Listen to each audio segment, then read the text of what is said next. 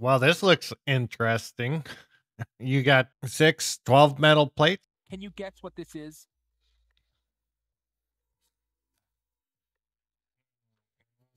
Is still squeaking.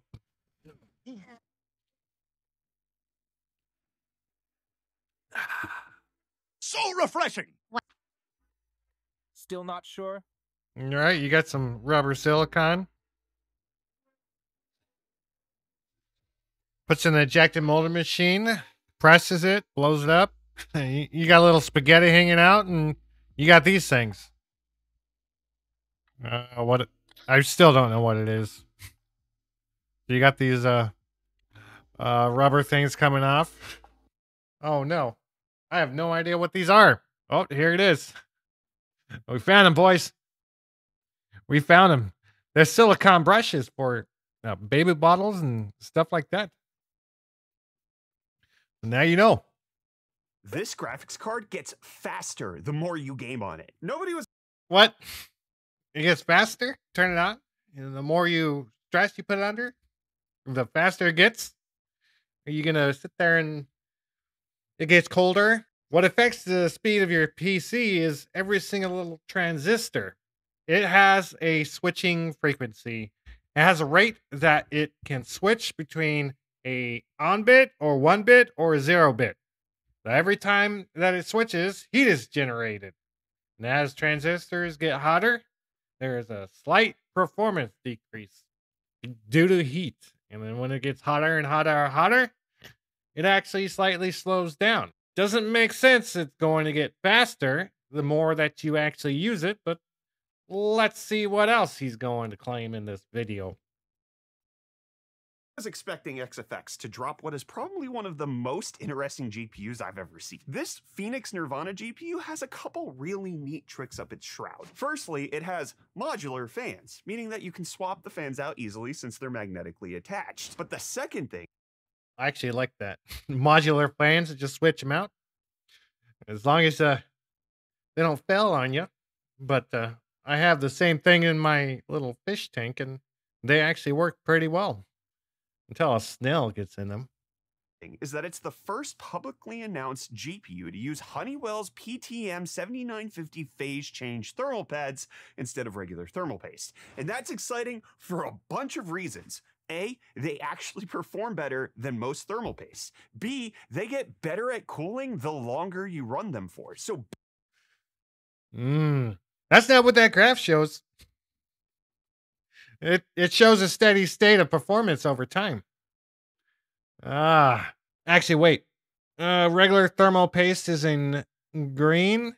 The other one's in red. Okay, so so it performs worse, and over time, it slowly slowly matches the performance with the the other thermal paste. Uh, so what you're showing is it gets lower performance, but over time it matches the performance of any other thermal paste. Just use regular thermal paste.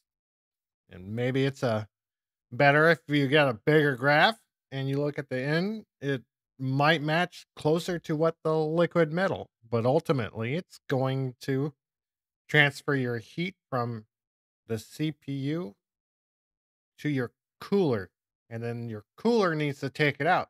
So eventually it'll get to a point where your thermal pad has a zero net effect, meaning it's completely reliant on your system to remove the heat. And better temps and power draw as the gaming session goes on. And C, they get better at cooling the longer you run them for. That is, their thermal efficiency improves the it's uh, thermal conductivity, my bro. Not thermal efficiency. That that's heat engines. I'll let it slide. Can't count the number of times that I've misspoken. more cycles they go through with heating and cooling. All of this is thanks to the industrial phase changing of the pad that Well, he, he did kind of get it right at the beginning. Well, let me rephrase it. the thermal conductivity of the transfer of heat from the CPU to the heatsink increases as temperature goes up. Nailed it, I think. Still doesn't perform as good as regular heatsink, though.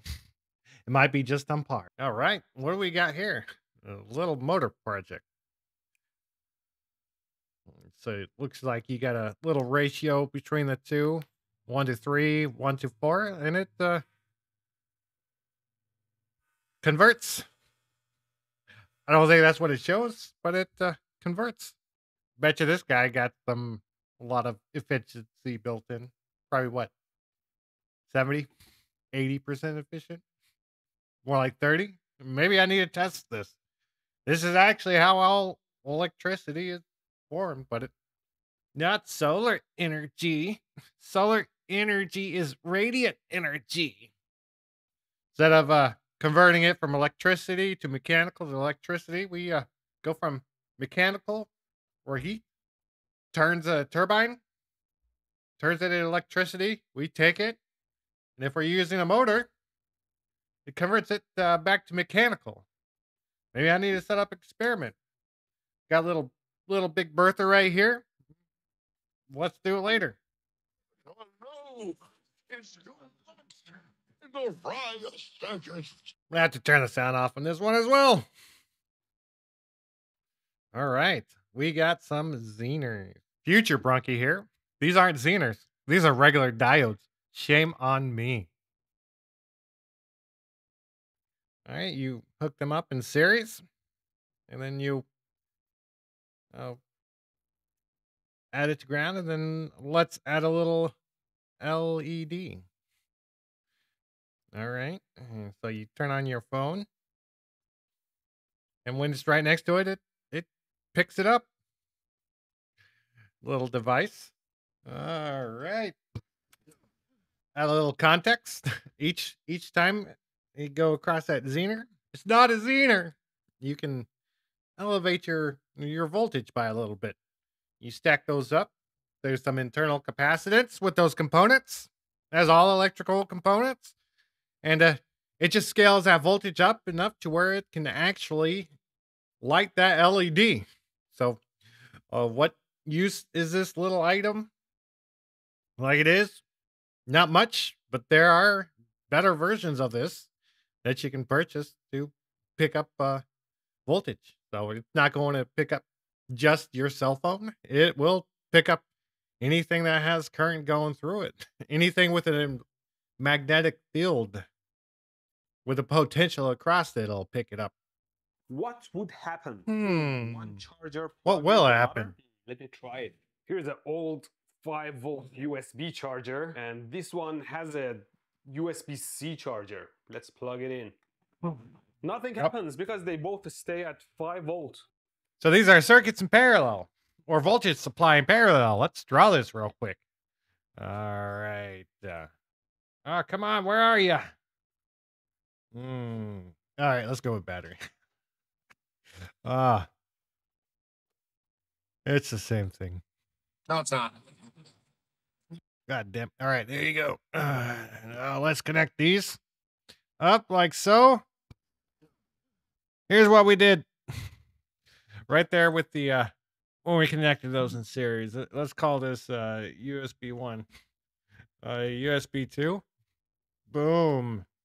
We're going to call these guys boom. Whatever, it's not the right nomenclature. I don't care. Well, who knew you were such a rebel? All right, this is uh, uh bong, boom and bong. So you you connecting these guys like this. What do they do? Nothing. But you still have five volts on there. So let's add a uh, resistor. All right. So voltages in parallel. What these guys do is uh, they keep the voltage the same, but you double the current. And when you do that, you get double the current. So one device, you get 1.5. You add two devices, you get three. Three amps of current you can get out of there. Like and subscribe. Back to the video. parallel wires, the ones on the outside of the bend would need to stretch, while the ones on the inside need to compress. But by twisting the wires, they are on the inside and the outside, so the forces cancel out. Ah. This is used everywhere, especially in uh, electrical engineering. So you have a solid wire, uh, like so, and you bend it once, makes it hard to bend it back. Plus, your joints get weakened. The advantage of this kind of cable, it's not that pliable. You bend it in one place and you use it in that one spot forever. You'll see videos with your houses wired with stuff like this. It's cheaper and uh, it's able to carry the current better in a, a smaller frame. Now you have multi-stranded wire. Let let me uh, show you this. All right, right here. Mm. Mm. This better not be making me turn red. All right. There you go, slowly but surely. How about this? I just cut it. Ah. so this guy is so flexible. So flexible because of these little strains. It makes this uh, useful for constantly rewiring, rerouting, because you can do a lot with it. This is rigid.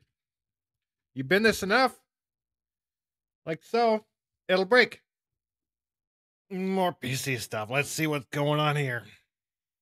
Intel's finally addressed why their CPUs are dying, and it's kind of alarming. In case you're not up to speed, like Intel's own chips, here's the TLDR.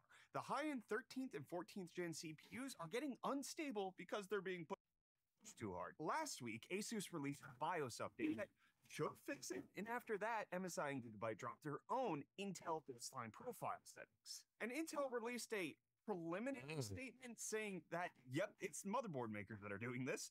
They're overclocking the CPUs from the jump, so Intel will be encouraging them to release the baseline profiles, but Intel will also have a more complete statement in May. The biggest problem with this is that this isn't new. Mambos have been default overclocking for years. You're de- Hey,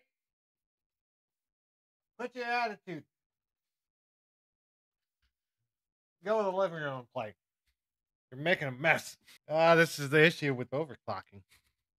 And I see all these comments that say, "Oh, you need to overclock, overclock."